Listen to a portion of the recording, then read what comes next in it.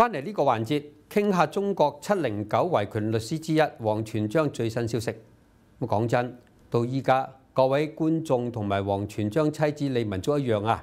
自從二零一五年七月九日王全章被官方拘禁到今天，都冇睇過任何一張王律師新照片或者圖像。佢嘅生死成謎。依家去片又睇睇李文足三月十一號到法院討個説法嘅遭遇啊！早前陝北千億礦權案卷宗離奇失竊，令人關注內地法院嘅內部管理同埋保密制度。而被捕維權律師王全璋案件，亦都懷疑遇到同樣嘅問題。佢太太李文竹近日去到法院查詢嘅時候，法院職員同佢講，電腦系統查唔到王全章嘅案件。我們七零九家屬在這裡連門都進不了，要談你們還談什麼依法治國呀？李文足星期四上昼再次嚟到北京最高人民法院控告天津嘅法院审讯王全章案时嘅违法行为。今次系佢丈夫王全章被捕之后嘅第三十五次。呃我们是三月十一号，然后去了天津高院，嗯，然后去询问王全章的这个案件，他的进展嘛，问是不是上诉上诉了，但是那个天津高院，嗯，告知说那个电脑系统里查不到王全章的案件。原本堅信丈夫仍然在生嘅李文竹話喺法院查唔到王全章嘅資料，令佢而家好擔心。最困擾、最最折磨的一個一個問題，就是因為連就是醫生呢，連他的照片什麼事就沒有出來過，所以很擔心他的就是安全。然後可以說，我不知道王全章他現在到底還活不活着，有沒有活着。这让人是很很崩溃的。然后他包括他的那个一审、庭審啦，然后嗯判决出来，他们都是，呃，就是关起门自己就是那个暗箱操作，把完全就是把那个所有的消息就堵死了。李文竹話：今年兩會期間，當局冇好似往年咁限制佢同屋企人嘅人身自由。佢相信係同佢呢三年幾以嚟積極為丈夫王全章維權有關。王全章喺二零一五年七月被當局帶走，案件舊年十二月喺天津嘅法院閉門審理，佢被判顛覆國家政權罪成，判監四年半，但判決書至今仍然未公開。中國乜都有，唯獨法院就冇王全章電腦檔案資料，真的嗎？首先，中國法院響去年十二月秘密審判王全章顛覆國家政權罪成，判刑四年半。不單止佢老婆李文足唔准到庭聽審，就連份判決書啊，李文足話依家佢都冇收過。喂，咁又算乜嘢特色嘅依法治國呢？又請問一聲你習習近平先生。其次，當家屬再次到法院追查，所得到回覆係法院電腦系統度查唔到王全章嘅卷宗。誒，咁講法。係唔係方天下之大謬啊？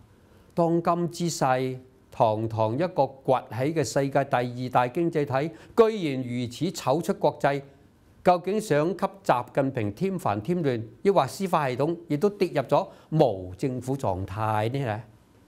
咩？否則又點解釋七零九案一眾嘅被告人啊，長期被無理羈押，當局從不給出個合法説明？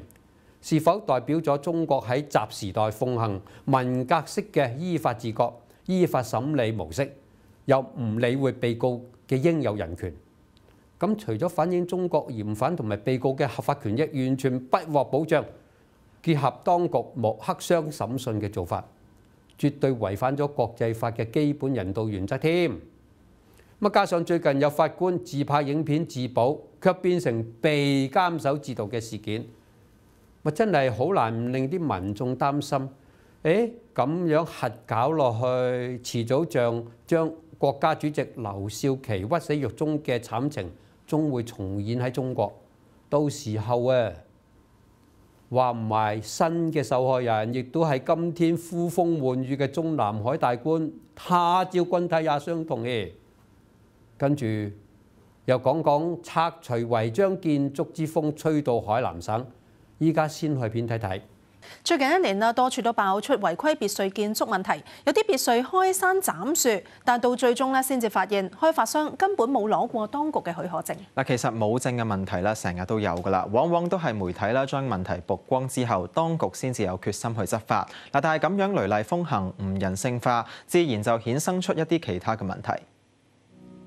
標榜世界一流嘅海南陵水國貿清水灣國際養生度假區，佔地過萬畝，曾經被列為省級嘅重點項目。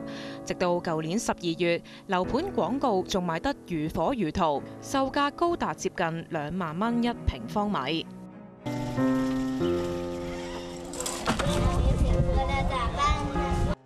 不過，自從今年年頭，業主就過住被停水斷電嘅生活。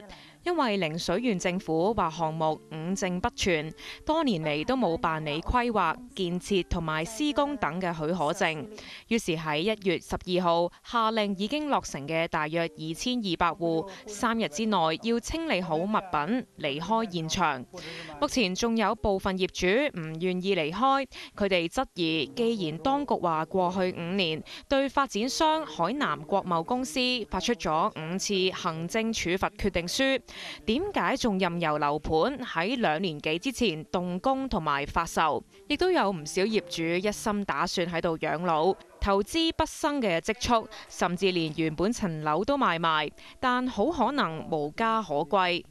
海南好，到處都是鮮花，到處都是綠草，對我們東北人來說，這是一個奢望。这几天。我老伴儿的病就有点加重，要如果再不好，没办法，我不能把他扔这儿了，我不能让他死在这儿。老家房子卖了，再加上积蓄都压在这儿了，我就一直想，我这后半生怎么办？假如这房子保不住。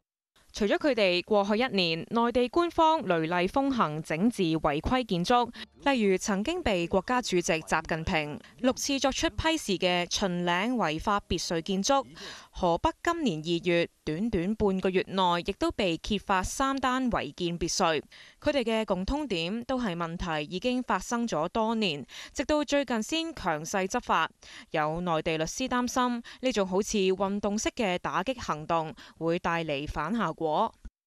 对于违建，法律上规定的是情节特别严重的，无法整改的，才采取呃強制拆除这种方式。从执法，单纯从执法角度，呃来讲，有法必依，是吧？执法必严，是一个好事情。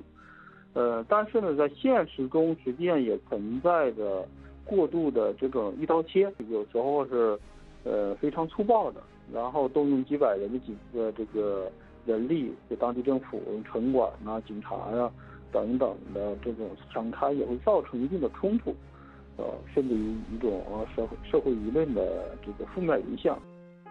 佢建議政府應該視乎唔同違建事件嘅性質，調節所採取嘅行動，令無辜嘅人有應得嘅賠償。睇完海南陵水縣過萬畝嘅住宅群被指違建，要限時拆晒，大家會唔會覺得，唉，點解興建多年都冇官員加以理會？呢大塊地皮上完全冇攞批文就起屋。起咁多屋過千棟、二千幾棟，咁嘅做法，嗰啲法律責任係歸邊度先？發展商如果有錯，非法起屋又賣晒俾消費者，仲入住埋，一旦話要拆，何以由買屋嘅人付上全部代價？嗱，間屋冇咗啦，你拆光啦嘛，投資買屋嘅價錢都化為烏有，咁又係唔係合理呀？陵水縣嘅政府官員唔通咁樣不作為，響佢哋眼皮底下任由發展商非法起好大屋賣出去？誒，啲圍觀嘅難道繼續安然無事？咁咪違法建屋嗰筆會由邊個去查先？事件再暴露出啦，粗放式經濟危害中國社會之列，而受害者往往遭到二次傷害嘅殘酷現實，亦都令人睇到。超過二千棟違章房屋只能建成，根本就離不開結構性貪污模式嘅禍害，官商勾結啦，輸送利益成為一種地下產業鏈，以致野火燒不盡，春風吹又生。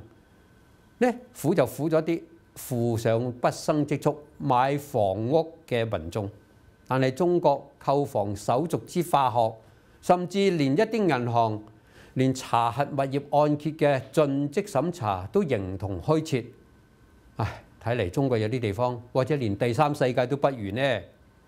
響現代社會，啲企業並購或者集資過程，往往都需要盡職審查，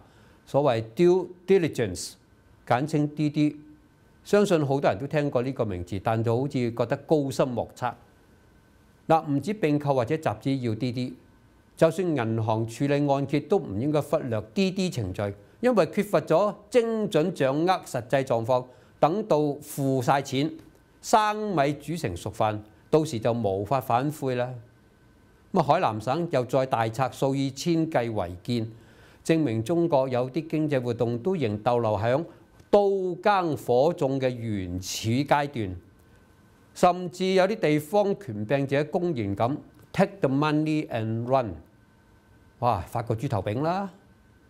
嗱，我好同意內地各位黃律師建議，政府好應該視乎不同違建事件嘅性質，就調節所採行動，令啲無辜消費者得到應有補償。當然，但係前提一定要政府必須針對違建。除咗網拆，除咗狂拆之外，亦都要制定第二方案，即係 Plan B 至得。一怪事年年有，今年中國特別多，個中嘅受害人自然苦不堪言。但就算局外嘅圍觀者，你同我啊，有時都真係會睇到人都癲㗎。何良茂今次就同大家講到呢度為止，多谢各位收看下周再见。